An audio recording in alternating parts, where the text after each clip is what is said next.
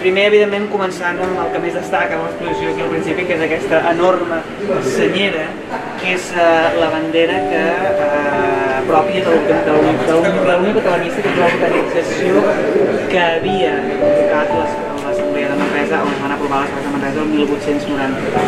Tot i que la bandera, com diu aquí, és del 1901, eh, la, la fan posteriorment, que és una iniciativa de l'Ingrés Armengol, que va ser una de les simpatitzants o de les militants d'aquesta entitat que va proposar que, com tota corporació de l'època, s'havia de tenir una bandera o un panó eh, corporatiu i si era la Unió Catalanista no podia ser una altra cosa que la senyera, la bandera catalana dels quatre I ella és l'autora de tot plegat, eh?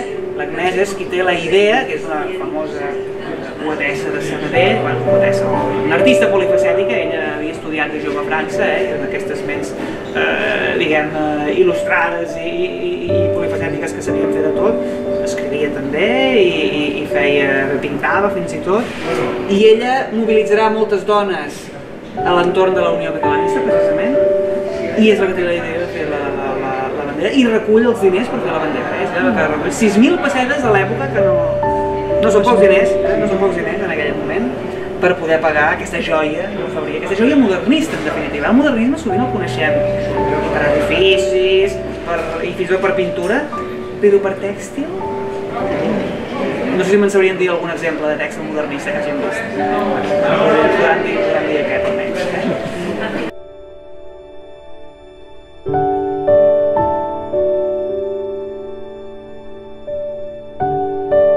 ho requereix. No estem davant d'un moviment independentista, un moviment separatista. Les de Manresa no són això, no van ser mai. Eh?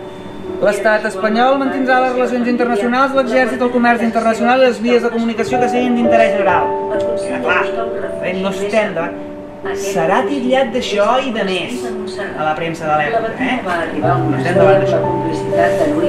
Què és el que demanen per Catalunya? Doncs, en primer que internament ens puguem autoorganitzar. En primer lloc, català serà la llengua oficial de Catalunya. Bé, sense dir-ho, eh? Però es diu. Uh, són els catalans els que exerciran els càrrecs públics. Que vingui gent de fora, que ni tan sols entén l'idioma, i que no la passarà sovint, eh? doncs no haurien d'estar tenint la pròpia societat. que proposa la creació d'una gran bandera. El famós dibuix o gravat de l'Assemblea de les Bases de Manresa, eh, a l'Ajuntament de Manresa, que va fer eh, en Jaume Païssa, eh, que il·lustrador famós de, de l'època, i darrere també hi ha algun dels Havia de ser una bandera excepcional, potent, Montaner simbòlica, única, eh, secretari. Havia de destacar 250 entre tots els persones que venen tots aquells punts que hem vist en el mapa anterior, un per organització que formava part. De la Unió Agnès Catalanista. Armengol Vale? no va Es dubtar reuneixen i de aproven aquest projecte i van carregar el de disseny a Alexandre de autonòmica. Riquer.